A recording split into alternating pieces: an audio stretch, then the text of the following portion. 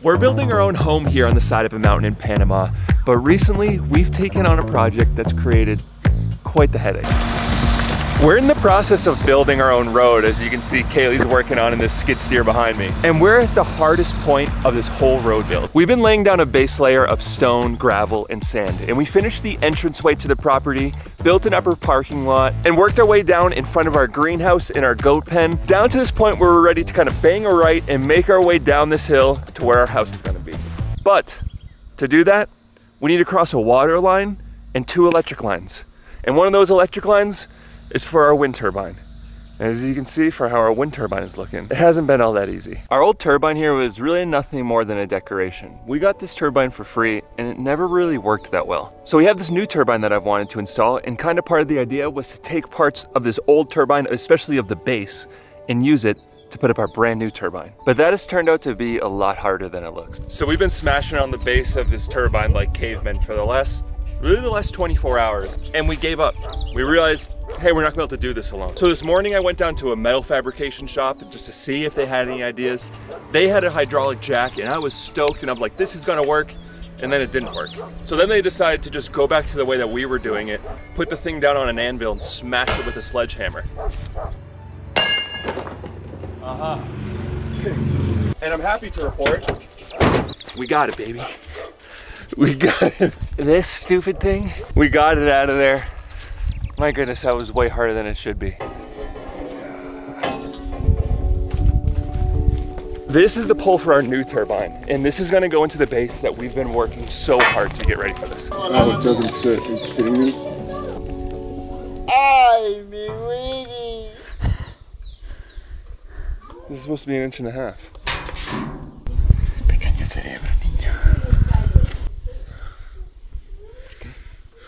Pequeño cerebro, niño.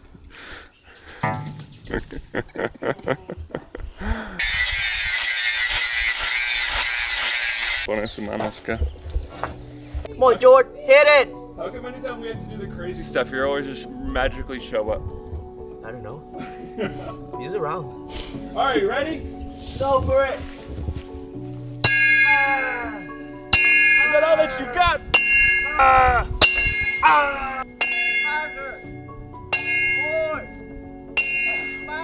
Sometimes you just gotta do some crazy shiz to prevent yourselves from having to go back to the hardware store. Now the idea is we're gonna take this tube and we're gonna slide it right around this one, which is gonna give us a little bit more thickness. It's gonna give us double the thickness and ideally double the strength.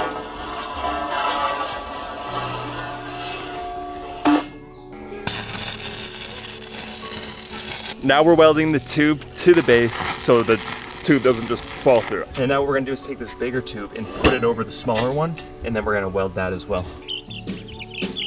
It's crazy how big these chickens have got just in the last two weeks. And they're starting to make a mess of our workout room. They've been living in there for the last couple weeks and they're just pooping all over our floor in there. So I think the sooner we can get out, get them out of there, the better. We're trying to kind of slowly introduce them to the dogs, slowly introduce them to the other chickens and the rooster. Because I've heard that sometimes when you introduce new baby chicks with a rooster around, sometimes the rooster can get a little crazy and sometimes hurt the babes. Now we're gonna slide this piece on it's gonna stop the turbine from falling down. And then this is the bearing.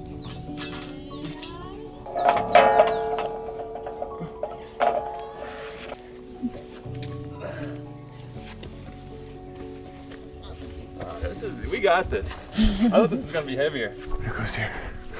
Okay, bien, gracias. Now we're getting to the fun part because we get to install the turbine, the part that makes the electricity. This has a specific torque spec it needs to get torqued to, which is 30 foot pounds. So I have the torque wrench out here. When this clicks is when we know we're there. Oh, oh no. It just broke. What the heck? This thing is broken, I think. I think I just over torqued it. Es solo este, entonces nosotros poner es, es okay. The turbine just broke. No. Which one? Which part of it? Um, the part that matters. Like the spinny? Yeah, the motor. The torque wrench is supposed to click when it's at the right torque. It Yeah. didn't click. So I just over tightened it. And now you and can't it untie bro- it. it blew up. No. The casing did. No. I got glue though. Oh my gosh. For some reason, this wind turbine has just been like so not on our side this entire process. No, you're not off to a great start when you gotta break out the glue right away. Okay, cuidado, cuidado.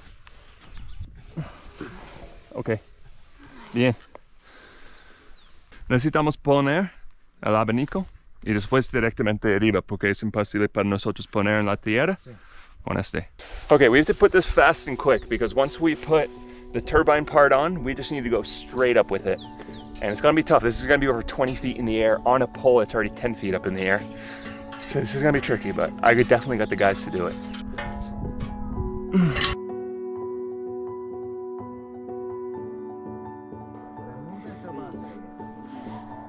talked it all through. And I think we're gonna try the skid steer. And if the skid steer doesn't work, we're gonna need to get a crane in here because this is just, this is just gonna be um, pretty challenging. So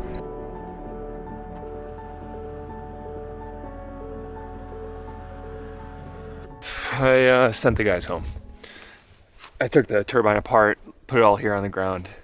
It wasn't to be safe. I need some time to think about this. I need a couple of days just to think about the best way to do this. Whether we make the pole shorter, it's going to give us less power, or another way to get this 20 foot pole up in the air with a heavy turbine on the end. I'm not sure. The good news is today's the perfect day to just be out in the sun. It's beautiful. Do some mindless stuff like build a road and think about how we're going to get this turbine done. The bad news is, you see this pile of gravel? I made the mistake of having this guy dump this massive pile of gravel right where I need to drive the skid steer up, and the skid steer doesn't have the strength or the grip on the road to pick up this gravel. So that means I'm gonna have to shovel this whole pile out to get the skid steer up here. Back to the shovel, I guess.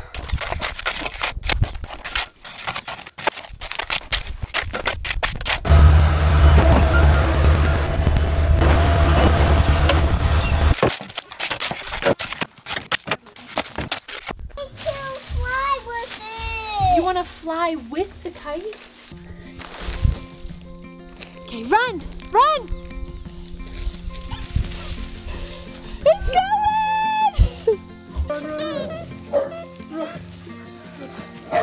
It's flying! It's flying!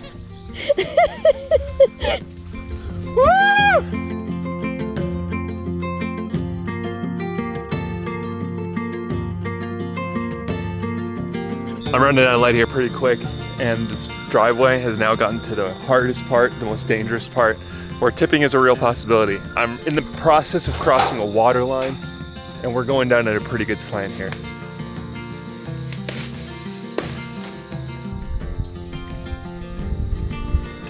The big question of this whole thing that I have is will this rock, sand, and gravel withstand the rainy season?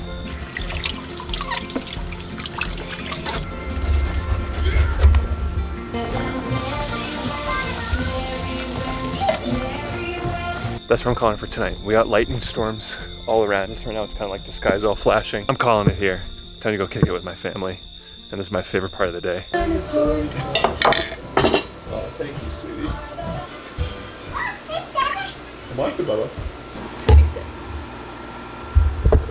It's eight o'clock and we're um we're having a coffee. You guys, it's a good thing that we have a coffee business, or I think we'd be broke. We're both coffee fiends, and especially it's just like running the farm, running the coffee business. Now we're like kind of like gym rats with our gym. It's eight o'clock right now, and we're going to go get a workout in. So that's just kind of how our life's going right now. Just take little sips of coffee throughout the day. It's just the best. I think this gym might be the best thing that we've ever built.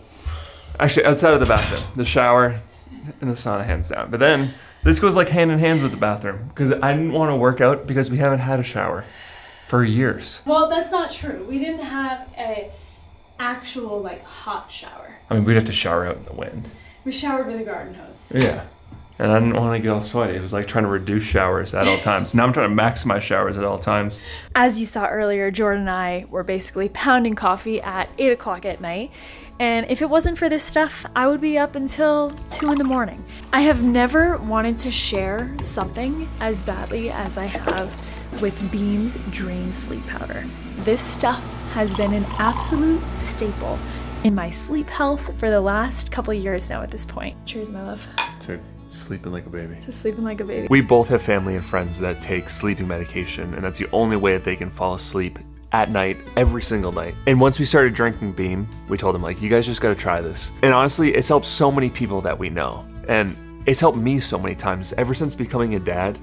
I feel like I'll lay in bed sometimes and my thoughts will start spinning and I'll come downstairs, make a beam. 20 30 minutes later, I am passed out. It's got CBD, magnesium, L-theanine, reishi, and melatonin. And man, oh man, when you combine all five of those things together, whew, that shiz knocks us out. Beam works and it's great. And it's just a great tool that when I'm struggling falling asleep, I can just lean on it. So if you guys want to check out Beam, click the link in the top of the description, use our promo code NOMADIC, and you'll get early access to Beam's Labor Day weekend sale where you can save up to 40% off. So check out the link in the description.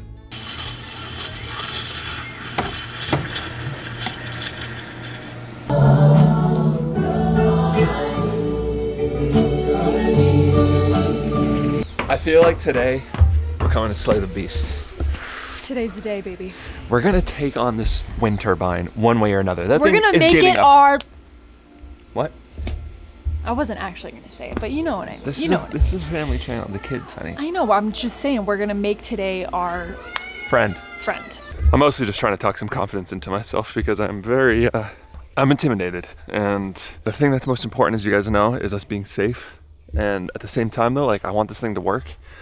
And we're trying to install a wind turbine onto a pretty big slope here of a hill. First thing that we're gonna do is take a hit of efficiency, but go for safety and cut five feet off of this. Feels like by making this shorter, it's gonna make it much more manageable. Now, why we want this thing to be so tall is we want to prevent what's called dirty wind. And it's not that we're not gonna get strong enough wind hitting it, but it's the things that are around it, like the hillside, like the greenhouse. Ideally, you want this turbine to be 30 feet above all of those things, which is insane.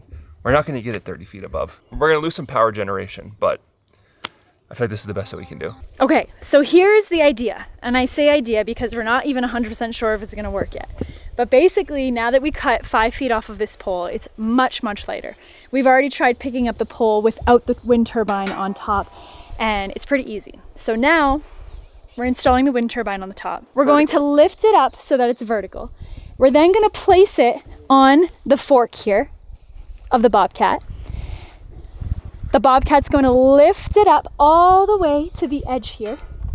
We're just gonna scoot it right on top. Just for you, baby. It's for you, baby. So that's the idea. If it starts falling, run. okay, stop. Lift the front down a little. Oh, I am losing my mind right now. Uh, a little more. Stop. Bring the front down a little. Dad, if you're watching this, I am so sorry. but that's why I'm filming this right now. I'm not partaking in this whatsoever. Whoa, whoa, whoa, whoa, whoa, whoa, whoa, whoa. So now Jord is taking the tie down straps off of the base and Iberto and Jord, they're basically gonna try to shimmy it onto this white base here. I hate this, I hate every single bit of this. You guys need to tilt it a little bit so I can slide these cables underneath. Okay, I'm gonna let it go a little bit. Got it now. Okay, we're almost there. Okay, ese es un problema now. Necesito mover este aquí. We're almost there. Yes!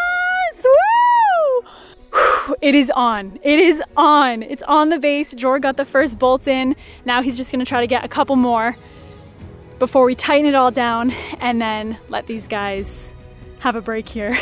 How you doing, Bobby? I'm exhausted. We're almost there. We're almost there.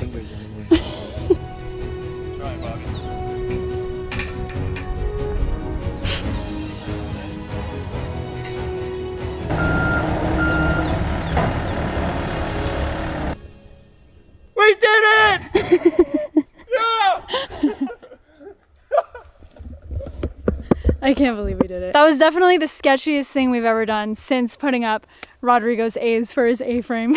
oh my goodness. What do you think, honey? Dude, we freaking did that, dude. Look at that. You happy boy? How the heck did we do that? I mean, it was your idea, honey. I gotta be honest. I thought it was a really dumb idea. I cannot believe we did it, you guys. Look at that freaking turbine. The wind died down once we got it up, so we'll, we're gonna have to wait until it gets windy to really test this thing out. But I mean, at the very worst case, it's pretty sick decoration on our farm. no, we're getting this thing working. We've put too much effort and too much time into getting this thing working, and I'm so stoked that we did. Because I've been waiting to put that new turbine up, and this road was just the motivation that we needed to get this thing done. And now we have two off-grid energy sources, wind and solar. All we need is water, and then we complete the trifecta, but that'll be for another day. The last step that we're gonna have is gonna be anchoring this uh, cable going right down into the ground. The guys dug the footers for it down here, but we didn't have any cement. But while the weather's nice, I'm gonna take full advantage of this. I'm gonna hop back in the skid steer and keep going on the road. We probably have 100 feet left and we're done. And once we have this road, we're finally gonna be ready to start our house build. So every single one of these steps is just so dang exciting. Come join me. Area you join me. Is this Sadie's store? Yeah. I was wondering, do you sell Play-Doh? Yeah. Do you sell pink Play-Doh? Yep. How about yellow Play-Doh? Uh, no. Oh, all right. I'll get the pink Play-Doh. And how much is the pink Play-Doh? We go. Twenty dollars? Yeah. Do you have any discounts going on right now? One, two, three, four. So you have four percent off No, today. no. One, one, two, three, four. Four percent off? No. One, two, three, four. Okay. Boo. Here you go. Bye. Something is burning.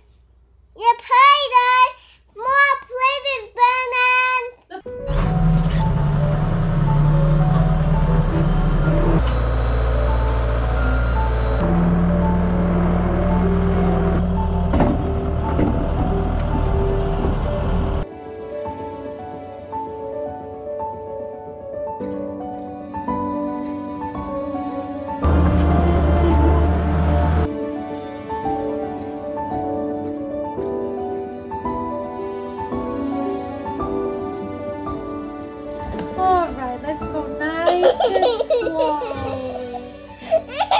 Slowly. Ah, ah.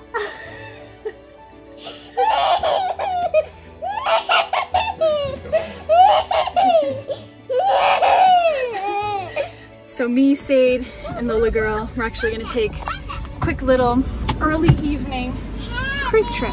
These days just seem to be going by so quick. Maybe it's just a skid steer and loving everything that's going on with that, or, or maybe it's just being with Sadie every day and just, I don't know, these days just go by so quick. I feel like I'm just on this like hyperloop that I'm putting her to bed every night. It's like freaking me out a little bit, but it's crazy how fast time goes. When you have a child that's like a way to visualize time, it's like, holy cow.